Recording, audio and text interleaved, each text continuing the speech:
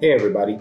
I've been using iOS 13 for about a month now, and I wanted to show you another feature that I came across that I really like.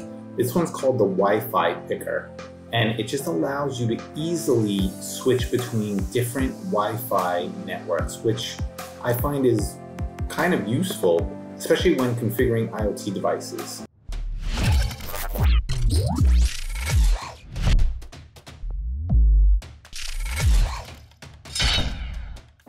Let's take a look at the old way of doing things. You'd have to go to settings, go to Wi-Fi, check out your Wi-Fi, and then select the Wi-Fi network that popped up. In this case, we're gonna choose Carlo Fast.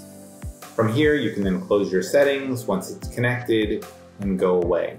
Let's take a look at the new way to do it now. If you're in an application like Magic Home, for instance, that requires you to be on a certain network to configure that IoT device, it is super handy to be able to just swipe down, force hold the top left corner, and then tap and hold on the Wi-Fi to see your list of Wi-Fis.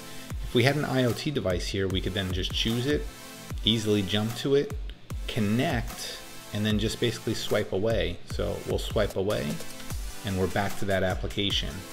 You get the idea that you don't have to break your workflow when you're configuring IoT devices or choosing Wi-Fi. Just swipe down, force hold, tap and hold, and then select your Wi-Fi network. I think this is a great, neat little feature.